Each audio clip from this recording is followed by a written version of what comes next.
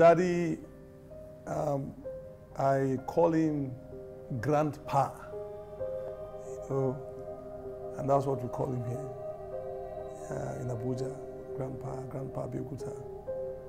Daddy was um, was a great man, and I thank God that uh, our path crossed in life. If you've ever met Pa Olumide, you don't meet a Rear Admiral or a, a general or a soldier of that sort. I think you meet a humanitarian, someone with a very warm heart.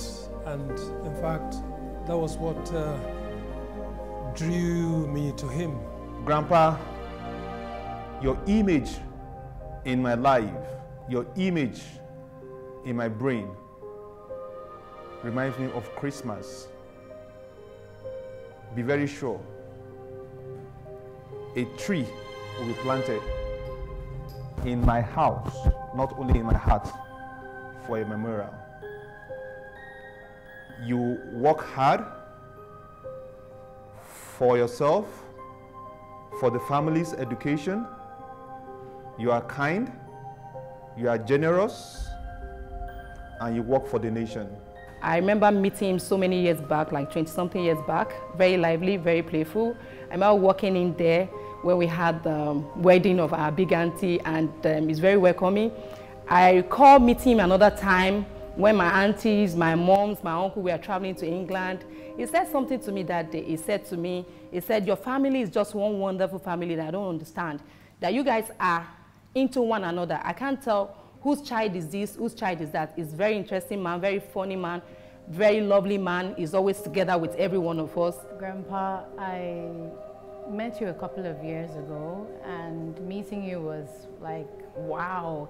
You were a split image of uh, our big auntie, Auntie D, with a big smile you wore. And I said, wow, this man looks really, really, really much like she is.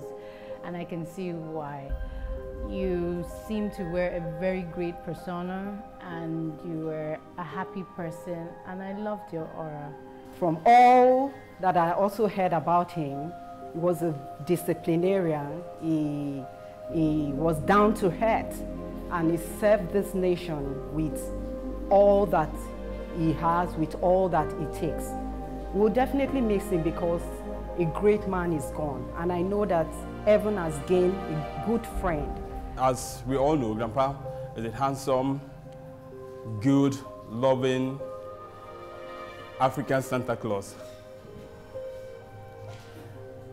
Grandpa, we miss you. I miss you. You're a very wonderful man. I know we'll meet again, but not yet.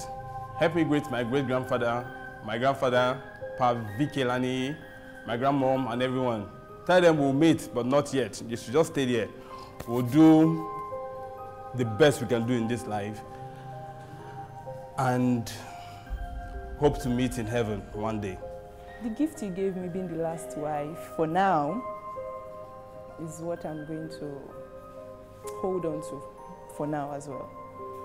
We love you so much and Grandpa, your kind is rare. You, you were more than a grandfather. You took everyone as yours and knowing you was sweet. We'll miss you. Grandpa, I know I didn't meet you for too long, but I know you meant well to the family. You also taught all of you also taught us a lesson that we'll never forget. You took all of us in as as if we were your as if we were your sons and daughters. Grandpa, may your soul rest in peace. My sweet grandpa, meeting you was purpose, friendship, companionship, and happiness. How I wish that day that he told me that you passed on didn't come. But I know now that you're in a better place. And I just want you to know that I love you and I will miss you dearly. Love, Anu. I never thought of when you no longer be there because you have made so much good memories in our life and I want you to know that I love you dearly and you are the best grandpa. Uh, before he departed, you know, I, I, I called him while he was sick. And even in his sickness, he still smiled and said, I said, Atune, how do you do? How are you doing? You know, he calls me Atune. He said, Atune, how are you doing? And he said, Atune, Atune, you're always happy. You're always, uh, I know you, you always sound very happy. You know, so uh, that was the last conversation I had with him. And uh, a couple of days later, he had gone to be with the Lord. But the good thing is that Daddy uh, slept in the Lord. So uh, I know we'll see him again. I'm looking forward to seeing him again. And that God bless you. And I appreciate you so much.